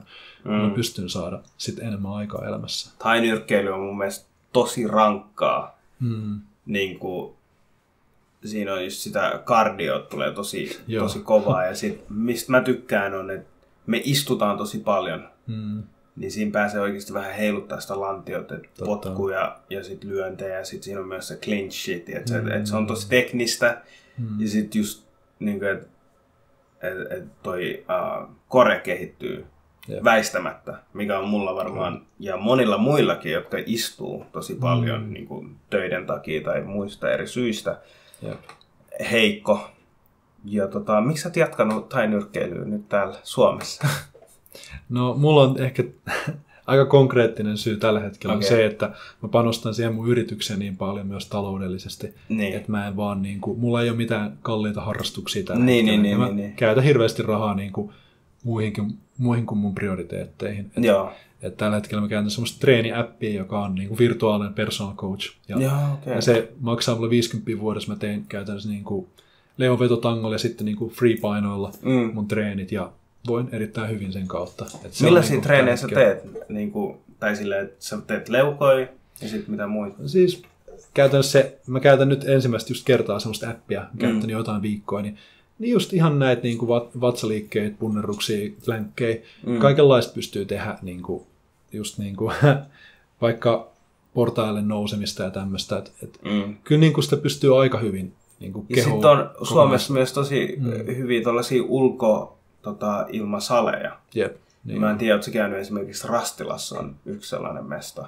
Hmm. Että siellä on ihan sellaisia niin kuin penkki, penkki ää, Hmm. systeemeitä, jossa on sellaisia eri tasoja tai silleen, Hmm. ää, niin kuin, että millä pystyy niin kuin vaikeuttaa sitä ja sitten leuanvetopaikkoja, dippi, dippejä ja niin edelleen. Et, Hmm. Tuossa on taas niitä hyviä syitä, miksi Suomi on niin kuin loistava maa, että panostetaan urheiluun Kyllä, ylipäätänsä. se on tosi hyvä. Miten sä sitä henkistä puolta, että onko se oppiminen, onko se se, mistä saat sitä henkistä rauhaa tai harjoitat sitä? Vai? No, se on, se on yksi ja sit meditaatio myös auttaa, vaikka mä en sanoisi olevani niin, tiedätkö, ehkä pitkällä siinä meditaatioprosessissa, Mm. mm. mutta ehkä mulle niin kuin yksi tärkeimpiä asioita, miten mä pidän niin kuin henkisesti itteni koossa ja tavallaan saan rauhaa, on se, että mä oon tosi organisoitunut. Joo. Ja se on hauska silleen paradoksi, että silloin kun mä järjestän tapahtumia, mm. niin varsinkin siinä alkuvaiheessa, niin vaikka mä organisoin, organisoin asioita, niin mä olin tosi epäorganisoitunut mun omassa elämässäni. Mm. Ja se näkyi, niin kuin mä en, mulla ei ollut mitään semmoista kunnon hävittäjä yllä. Niin kuin mä en harrastanut aktiivisesti liikuntaa niin kuin säännöllisesti ja kaikkea tämmöisiä juttuja. Niin kuin. Ja nyt kun mä oon, pystyn tavallaan pitää näillä niin kuin häbiteillä mun elämäni kasassa, niin tavallaan vaikka mitä kävis, vaikka menisin minne ulkomaille tai mihin tahansa, niin niin kauan kuin mulla on ne mun niin kuin asiat kasas, mitä mä teen joka päivä, niin tavallaan ne antaa mulle sen niin kuin koren just, että siitä, mm. lähtee, niin kuin, siitä voi lähteä tekemään mitä vaan. Mikä oli ensimmäinen asia, mitä sä aloit pistää habitiksi tai tuollaiseksi niin tavaksi, hmm. kun sä halusit organisoida sun elämän, niin mikä oli, m- miten se alkoi? Se, sä et varmaan tehnyt samaan aikaan kymmenen eri hmm. niin kuin, asiaa, vaan se alkaa aina muutamasta. Jostain, niin. Joo. No siis se, mikä niin kuin, muutti mun elämän yksi, mun elämän tärkeimpiä kirjoja, mm. niin se lähti siitä. Eli mä luin semmoisen Getting Things Done David Allenilta. Ja okay. se on vähän niin kuin tämmöinen niin kuin itseorganisoitumisen raamattu teltapaa. Nice. Siinä on mun, niin kuin... mun pitää käydä poistaa toi kirja jostain. Joo, se oli, se oli tosi hyvä kirja. Ja tavallaan se lä- siinä, mi- mi- niin kuin, miten lähdettiin liikkeelle, on se, että sä kirjoitat ensin kaikki mahdolliset asiat, mitä sun pääs pyörii, mitä sun ikinä pitää tehdä elämässä, mitä sä ikinä haluat tehdä elämässä. Ja mä kirjoitin kaiken mahdollisen ylös, niin kuin kaiken. Ja sitten tavallaan, kun sä lopulta näet, okei, okay, tässä on kaikki, kun sä, se on mahdollista. Sä vaan kirjoitat niin kauan, kunnes sun pää on ihan tyhjä. Mm. Ja siihen asti mulla oli ollut sille aina, tiedätkö, että mulla on aina joku, tiedätkö, okei, okay, nyt tulee päähän, että ei mun pitää tehdä tätä. Ja tiedätkö, mä olin unohtanut tämän ja tällaisia juttuja. Niin kuin, ja ne, ne aiheutti mulle niin paljon distraktioa semmoista niin kuin päivän mittaan. Se kuulostaa mutta, mun elämältä, mutta jatka vaan. mutta mut siitä pääsee, sitten on mahdollista päästä eteenpäin. Eli tosiaan, kun mä sain lopulta kaiken kirjoitettu ylös ja mun pää oli ihan tyhjä, ja mä näin sen kaiken tekstin mun edessä, niin sen jälkeen mä pystyin alkaa organisoimaan niitä tavoitteita, mitä mä halusin tehdä, mitkä oikeasti ei ollut tärkeät asiat, mitkä pystyy jättämään johonkin tulevaisuuteen. Ja eka mä aloin kirjoittelemaan ihan paperille ylös. Myöhemmin mä hommasin Task-appin, tämmöisen, mihin mä aloin kirjoittaa näitä kaikki. Ja tavallaan se, että mä aikataulutin asioita ja kalentoroin tosi tarkkaan mun päivän ja niin kuin, tiesin, että tossa on mun unelmat ja niin kuin, tossa ne on edes, edessä ja kaikki, tossa, kaikki mitä mun pitää tehdä on tossa edessä. Niin sitten siitä niin kuin, mulla alkoi semmoinen vaihe elämässä, että kun tavallaan kaikki tehtävät, mä aina kirjoitan ylös sitä mukaan, mitä mulle tulee, kaikki mm. mitä pitää hoitaa, niin mulla ei koskaan pyöri mikään niin kuin tehtävä päässä. Ja se mm. antoi mulle semmoisen rauhan just, että, että niin kuin mä voin, jos mä menen johonkin kävelemään ulos jonkun friendin kanssa, niin mä voin kävellä ja keskittyä täysin siihen friendiin. Mm. Eikä mulle tule mitään mieleen, että mun pitäisi tehdä jotain huomenna tai tämmöistä. Että tavallaan... Elä siinä hetkessä. Joo. Et ehkä niin kuin se tärkein niin kuin on se, että kirjoittaa asiat ylös, mm. organisoi ne ja pitää ne jossain, missä sä oikeasti näet ne. Koska monet ihmiset tekee silleen, että ne kirjoittaa jonkun listan tehtäviä, ja sitten ne ei kirjoita sinne kaikki. Jos sä kirjoitat vaan osan, mutta et kaikki, mm. niin sä et enää voi luottaa siihen listaan täysin. Mm. Ja mitä yleensä käy, se unohtuu se lista. Jossain vaiheessa vaan et enää ole katsonut sitä kuukausia. Sä et tiedä, kuinka monta listaa mulla on, tiedätkö? Mun pitäisi itse asiassa... Mä tykkään postit-lapuista. Tiedätkö, mm. jokainen täski yksi postit-laput. Joo, joo. Yhdessä vaiheessa mä tein silleen, äh, kun mulla loppui edellinen duuni, ja mm. sitten tota, mulla oli vähän enemmän vapaa-aikaa. Ja sitten se vähän tietyllä tavalla masens, koska mä luulin, mm. että mä mm. pystyn jatkaa siellä, mutta sitten mä en pystynytkään. Sit pitää mm. niin etsiä uutta duunia ja niin edelleen. Sitten mä aloitin tekemään podcasteja ja mä aloin mm. niin urheilla enemmän. Ja sitten mä tein semmoisen hullun, tiedätkö, task Ja sitten mä mm. vaan niin kuin, mä tykkäsin ottaa, tiedätkö, postit lapun ja silleen niin kuin pistää toiseen niin semmoiseen jar tai sellaisen. Niin kuin... sitten kun sä olit tehnyt sen? Joo, kun mä olin tehnyt, mä pistin joo. sinne. Tiedätkö, se, se, se, oli voima annettavaa. Tiedätkö, se, on. Ja, se on. Tiedätkö, se on siinä. Joo, se on tosi tärkeää, että, että siis sen itsensä motivoiminen on tosi tärkeää tuommoista prosessia. Että jos sä näet, että hei, mä oon tehnyt näin paljon asioita, jos sä mm. konkreettisesti näet sen, niin se on sä myös ymmärrät sen, että sä menet eteenpäin. Mm. Jos sä niin kuin ainoastaan kirjoitat asioita ylös, mutta sä et niin kuin hiffaa, mitä sä oot tehnyt, niin sä oot tavallaan jatkuvasti vaan semmoisessa niin kuin kilpajuoksussa – mikä ei johda minnekään. Mikä ei, niin, mikä ei, missä ei niin näy mitään voittoa tai semmoista tulevaa. Niin. Mm. Ja sitten se progressio ja nähdä se kehitys, mm. niin kuin sulla oli myös siinä alkuvaiheessa, kun sä teit musiikkia, sä huomasit, että hei, mä pystyn kehittyä tässä hommassa. Mm. Ja mulla on vähän sama juttu tässä podcastissa, että mä pystyn kehittyä tässä niin kuin monessa eri asiassa. Jep, jep. Tekniikkaa, sitten niin kuin kuvaustekniikkaa, mm. sitten ylipäätänsä niin kuin ihan nämä laitteet, että niitäkin pystyy upgradeaamaan. Ja sitten niinku, että miten mä puhun ja millaista mm. sisältöä ja niinku, että siinä on niinku, sky is the limit ja sen takia mä tykkään niinku, tämän tekemisestä ylipäätänsä. Joo, sen takia musta on kiva olla täällä, koska nice musta on kiva olla tekemistä ihmisten kanssa, jotka just niinku tekee asioita intohimolla. Mitä sä nytten, sä oot maininnut tässä muutaman kerran, että sä teet mm. jotain muuta yritystä tai kevyt yritystä tai uh, what's up with that? Millaista, miten sä löysit tohon hommaan sitten? No siis se oli aika tieltapaa myös sattuman kautta, että mä satuin alkaa käymään jossain startup-tapahtumissa ja sitten yhdessä vaiheessa mua kysyttiin markkinointirooliin yhteen startuppiin, joka mm. sitten ei koskaan edennyt sillä vaiheessa. Mm. Mutta sitten tavallaan se antoi mulle kuitenkin sen innon, että hei, mäkin voisin kokeilla tehdä jotain. Ja sitten sit me lähe, sit niinku vaan, se lähti vaan siitä, että mulla oli niskat kipeänä ja kelasin, no, mulla on nyt niskat kipeänä. Niin, se on nyt. Ja tota, sillä, siihen aikaan niin kelasin, että hei, et, miksei voisi olla jotain appia, että mä voisin saada nyt jonkun hierojan tähän. Niin kuin. Mm. Ja sitten tavallaan sit se, sit se kasvo eka siitä niin kuin, tämmöiseksi, että hei, miten olisi joku terveysäppi. Mm. Ja tälleen. Mutta sitten loppujen ajateltiin, että hei, me halutaan tehdä oikeasti semmoinen niin kuin markkinapaikka, missä ihmiset voi postaa semmoisia asioita, niin kuin taitojaan, missä ne on intohimoisia ilman, että niiden tarvitsisi olla ammattilaisia. Mm. Ja kun on se yksi markkinapaikka, niin tavallaan sieltä löydettäisiin sitten just se, yhdistettäisiin se tarve mm. niin kuin niille tarjoajille. Ja sitten se on siitä niin kuin lähtenyt kasvamaan.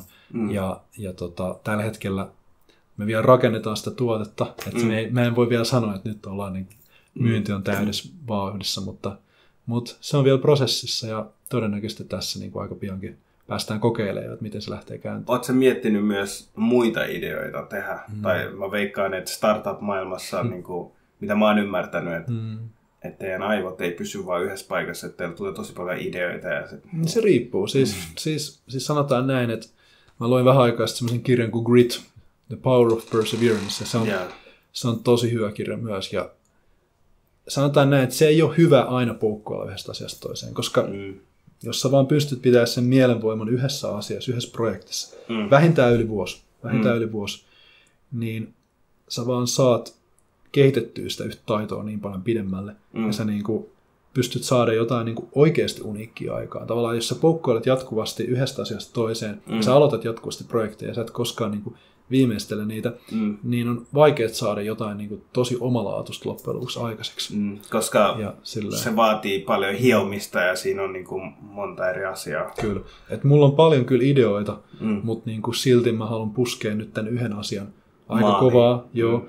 Ja, ja on mulla sellainen pieni sivubisnesviritelmä, mutta vaikka mä tekisinkin sen, niin mä en aio antaa sille niin paljon aikaa, että se harhauttaisi mua siitä mun päätehtävästä, joka on nyt just tämä startup. Mulla tuli vaan mieleen tuossa startupista, ja kun mm. katsoo sun elämää ja sitten sä sanot, että, että kaikki nämä on sattumalta tai... Mä, mä en mm. usko sille tietyllä tavalla sattumaa. Tietysti. Kaikki mitä mm. sä teet, se johtaa sut johonkin lopputulokseen. Mä veikkaan, mm. että sä uskot sama, samanlaiseen niin kuin juttu, että, että toi musatuotanto ja sitten tuli kulttuurituottaja. Mm. Jos sä mietit kulttuurituottajan ja startup-roolin tai startupin pyörittämistä, mm. niin eikö ne ole aika samanlaisia siinä mielessä, että sulla tulee jatkuvasti niin kuin jotain haasteita, mitä sun mm. pitää ratkoa, ja sitten niin kuin, uh, hoitaa ittees ja hoitaa muita ihmisiä mm. ympärillä tarvittaessa. Niin, no ehkä, ehkä startupilla ja kulttuurituotannolla voi olla se sama asia, yhteys, että jotenkin se on semmoista kaauksen järjestelyä. Joo. Ja näin. Sitten jotenkin startupissa vielä silleen, että miten sä pystyt rakentamaan se infrastruktuurin silleen, mm. että, että se niinku pitää itteensä yllä. Mm. Että ei tarvitsisi koko ajan. Kulttuurituotannosta ja ehkä tuommoisessa tapahtuman järjest- mm. järjestämisessä siinä on silleen, että okei, tämä on nyt tämä projekti ja sitten Joo. ensi projekti on ihan eri asia, se on ihan eri paikassa, se ihan eri uh, kohderyhmä, mm. ihan eri niin kuin, vaikka musiikin, tai se voi olla, ei se välttämättä edes tarvitse olla musiikki, että se voi olla vaan jotain mm. puheiden pitämistä. Se voi olla myös vaikka urheilutapahtuma, ja se Joo. voi olla esimerkiksi vaikka joku operatalon pyörittäminen. Joo. Että tavallaan siinä vaiheessa ei ole enää niin projektijuttu, vaan siinä on niin useita projekteja, mutta sitten siinä on kuitenkin se mm. pyörivä toiminta, jatkuva toiminta taustalla. Mm. Tota, niin, että et mä näen tuossa paljon niinku yhteyksiä, mm. yh, niinku sellaisia hommia, mutta miten mm. musiikin kanssa, onko sulla vielä mitään onko sulla niin diippiä suhdetta vielä musiikkiin? Sanoisit sä, että se on muuttunut vähän se? Niin kuin, että ennen se oli kuitenkin mm. tietyllä tavalla työharrastus. Niin, no siis nykyään musiikki on aika mulle niinku nauttimista ja rauhoittumista, sellaista, mm. mistä mä saan voimaa. Saatan kuunnella ihan semmoista niinku chakramusiikkia, mm. ihan kunnon meditaation musaa ja tällaista. Ja ei, se on vaan niinku kaunis asia maailmassa, mikä, niinku, mikä voi inspiroida ja, mm. ja silleen myös parantaa. Et se, on, se on sitä mulle, joo. Semmoinen arjen ilo, tiedätkö? Mm, kyllä. Mutta hei, pakko sanoa, että onko sun, ostat sä noita kirjoja vai lainaat sä niitä kirjoja? No siis kyllä mä usein ostan. Sitten ää, sit, niin kuin välillä kovakantisena, välillä mä ostan Kindleen, niin kuin tämmöiseen e-readeriin, ja. ja välillä mä ihan lataan pdf-inä. Mm. Ja mulla kävi kerran hyvä tuuri, että yksi business advisor antoi mulle niin kuin joku yli sata kirjaa, niin kuin hyvää kirjaa audiobookseina. Ja nice. sitten niitä mä oon niin kuin, kuunnellut. Audible on kuulemma aika hyvä. Et siinä, mm. on, siinä on semmoinen monthly subscription. Joo. Et tilaus, että sä saat kuukaudessa yhden kirjan niin sit se on periaatteessa hyvä, että, että sä vaan niin, mennä... Niin, niin joka kuukausi. Niin, ja sitten siinä menee kuitenkin jonkun verran aikaa. Me, about kuukausi, jos mm. kuuntelee semmoisen puoli tuntia, tunti. Tai se riippuu. Ne se riippuu ehkä henkilöistä. Yep. Niin tota, mä mietin, että pitäisi varmaan subscribea sellaiseen. Ja, mm. tota, jos, hei, jos sua kiinnostaa toi kirja, mikä tuossa mm. oli, mitä sä katsoit aikaisemmin, Joo. niin me voidaan vaihtaa, tiedätkö, joku Totta. kirja. Kos, ja sitten tota, siinä tulisi vähän mullekin paineita, että mun pitäisi lukea se kirja, koska mä joo. lainasin joltain, tiedätkö? Tehdään kirjavaihdot. Joo, joo, joo. Ja sitten ylipäätään se niin olisi tosi siistiä, jos niin kuin, vaikka tekee muistiinpanot siitä kirjasta mm. ja sitten selittää ja sitten vaikka niin kuin vertailee, että mitä, mitä on itse saanut irti, mitä joku toinen mm. on saanut siitä irti. Että et se kuulostaisi järkevältä toiminnalta. Mm. Mutta joo, sä halusit he- heittää jonkun läpän musta. Ei, halusin vaan, ei siis, tässä sanoisin, niin kuin, että mä oon, mä oon kiitollinen siitä, että sä kutsuit mut, koska niin kuin, mulla on ollut aina silleen hyvä meininki jäbän, jäbän kanssa. Niin kuin, aina, meillä on mennyt aika silleen deepeiksi heti läpät. Joo, joo, joo. Ja, joo. tota, ja, tota, ja niin kuin mä fiilaan sitä, että sä, että sä pusket tätä, niin kuin sä pusket vaikka olisi haasteita ja kaikkea. Ja, ja se on se niin kuin, mun mielestä niin kuin mitä muidenkin, ne jotka katsoo tätä, niin se olisi niin kuin semmoinen, mitä mä myös niillekin suosittelen, että eti jotain, mistä sä dikkaat, ja, ja puske sitä silloinkin, kun on haasteita, ja niin kuin aina, se, niin kuin lopulta se aina menee niin kuin loppujen maaliin, mä uskon siihen. Joo, siis kiitos tosi paljon, että sä näet tälleen. Mä en itse näe itteni tolleen. Mä näen itteni just sellaisena laiskana. Mä herään kasilta, mutta sit mä oon vaan silleen, että ei mun tarvitse nyt liikkua. Tiedätkö, mä voin jatkaa nukkumista. mutta tosiaan haasteita tulee, mutta hmm. mut tiedätkö, jos ei ole sitä haastetta, hmm. niin oot sä elossa tietyllä tapaa, tiedätkö? Hmm. Jos sulla ei niinku, jos sulla ei ole sellaista niinku haasteet sun elämässä, niin, niin siinä ei ole mitään, se on tylsä tarina. Hmm. Pitäisi ajatella niin kuin elämää myös tarinana, että mitä sä kerrot itsellesi, mitä sä Jep. kerrot sun lapsille tai muille ihmisille. Hmm. Ja jos se on niin kuin tylsä, niin sit, sit se on vaan, se ei ole niin mielenkiintoinen. Sun tarina oli tosi mielenkiintoinen just sen takia, että sulla oli hmm. haasteita, mitkä ei johtunut edes susta henkilönä, hmm. vaan tiedätkö, että maailma, maailma ja luonto tuo haasteita. Tiedätkö, välillä se on luonnon katastrofia, tiedätkö, hmm, mikä tuo haasteita ihmisille. Jep. Ja Jep. Tota, tuo on niinku semmoinen loistava asia, mitä me ollaan saatu tästä, niinku, hmm. tästä haastattelusta. Siis myös sä oot ollut niitä ensimmäisiä tyyppejä, joita mä, mä oon oikeasti halunnut saada podcastiin niinku, hmm. paljon aikaisemmin. Hmm. Mutta sitten tota, su, sulla oli matkareissu. Mä näin unta susta eilen, hmm. että sä feidasit mun podcastin yeah. ja lähdit jonnekin reissaan. Ja and I wasn't mad. Mä olin silleen, mä olin silleen, look man, this guy sä, you are meant for that. Sä, sä oot just sitä varten, että sä lähet paikkoihin, inspiroidut, takaisin, tekee jotain, mm. sit sun pitää lähteä taas. Tiedätkö? I don't know why. Sulla tulee vähän niin kuin muumipeikossa, sulla tulee mieleen nuuska muikkunen vähän. No, Tiedätkö, me meinaa, joka matkustelee ja tulee takas välillä. Mm. Uh, mutta niin, good vibes. Sitten mulla on ihmisiä, jotka niinku mm. niinku fade off podcastin. Mulla on sellainen sääntö, että, että aluksi mä oon tosi, tiedätkö, genuine. Kyllä. Ja jos se henkilö niin kuin feidaa, mm. niin sit mä aina venään, että se pyytää uudelleen aikaa. Mm. Jos ei pyydä, niin sit mä en tee. Mutta jos mä tunnen sen henkilön hyvin mm. ja tiedän, että oikeasti tekee jotain, mutta yleensä tiedätkö, ketkä feidaa on sellaisia, jotka on aika turhia. Mm. Sori guys, tiedätkö, niin kuin, teillä on vielä aika tiedätkö, muuttaa se. Mutta yleensä mä huomaan, että ihmiset, mm. joilla ei ole aikaa, on sellaiset, joilla on oikeasti paljon aikaa. Mm. Koska sä näet ihmisten Totta. somesta, että mitä ne tekee. No ei hirveästi niin kuin productive tai silleen, niin kuin, että mm. et, et ei olisi aikaa johonkin podcastiin. Tämä on niin kuin hyvä muisto myös sulle, mm. tiedätkö? Mä pyrin tekemään tästä niin kuin sellaisen tilan, mikä lisää arvoa myös sulle. Tiedätkö? Mm. Että ei olisi vain, että Aa, mä saan vieraan tästä ja muutaman tykkäyksen tai tälleen. Mm. Uh, vaan mä ajattelen, että miten tämä voi lisää arvoa sulle, mulle, kaikille. Tiedätkö? Yep.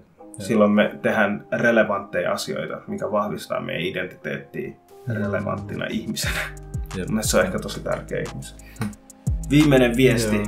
jos sä haluaisit sanoa lyhyesti ja ytimekkäästi jollekin henkilölle, nuorelle, mm. joka, jolla on vaikeat. Sä oot sanonut jo aikaisemmin, mutta kertaus on niin opintojen äiti. Kyllä. Mä sanoisin jollekin nuorelle, jolla on nyt haastavaa, että nimenomaan sitä, kukaan ei voi ottaa sua, sua pois. Sä oot, sä, sulla on aina loppujen lopuksi voima tehdä mitä sä haluat elämässä. Ja niin kun se vaarallisen tilanne on se, kun sä niin kun koet, että sulla ei ole enää mitään vaikutusta maailmassa. Se ei ole totta. Kaikilla meillä on niin paljon, niin paljon voimaa mm. muuttaa maailmaa. Ja, ja niin kun, ke, kannattaa keskittyä etsi oikeasti jotain vaan. Eti, eti jotain vaan, mikä on siistiä, mikä on kivaa ja mikä, millä se jollain tavalla voit luoda arvoa muille. Koska niin kuin, silloin kun itsellä on kaikista vaikeinta, niin jos sä voit auttaa jotakuta toista, niin se on mun mielestä parhaita keinoja auttaa itseään. Se on, niin kuin, se, voi, se on yksi parhaita keinoja, jolla sä tunnet itsesi hyväksi. Jos sä voit niin kuin, jollain tavalla tuoda hyvää ihmisille, minkä tahansa niin kuin, siistin jutun kautta, mm. niin mä uskon, että se tulee antaa, niin kuin, tulee palaa sulle takaisin. Maailma tulee antaa sulle hyvää takaisin. Ja niin kuin, joo, antaa hyvän kiertää. Mä oon tosi iloinen, että pääsit tulee. Kiitos. Kiitos paljon. Kiitos Mario tästä haastattelusta. Kiitos, että tulit tänne. Ja tää oli iso inspiraatio mulle ja mun tekemiselle. Ja jos te tykkäätte tästä materiaalista, niin painakaa sitä tykkäysnappia, tilakaa tätä kanavaa. Ja jos on jotain kehitysehdotuksia, niin ihmeessä DM vaan mulle tai kommenttia tonne alas, niin mä otan ne huomioon ja yritän joka kerta pistää parempaa materiaalia. You know how it is, Vision style. Stay blessed.